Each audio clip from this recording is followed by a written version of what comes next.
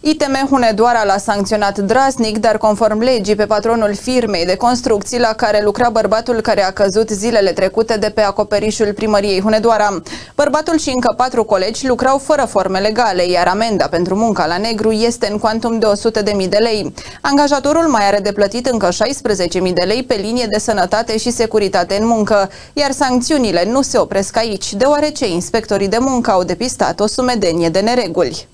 Noi am început o anchetă preliminară până la urmă, dar având în vedere că este incapacitate temporară de muncă, uh, cercetarea o face angajatorul, iar pentru faptul că 5 din cele 5 persoane au fost descoperite fără a avea contracte individuale de muncă, compartimentul relații de muncă va sancționa conform legislației în vigoare. Cu amendă de 20.000 de lei pentru fiecare persoană identificată fără formă legală. Fiind 5 persoane, o amendă de 100.000 de lei. Pe domeniul sănătății și securității în muncă au fost aplicate două sancțiuni pentru necomunicarea evenimentului, așa cum spune legislația de îndată, și pentru neasigurarea fișelor de aptitudini în momentul angajării.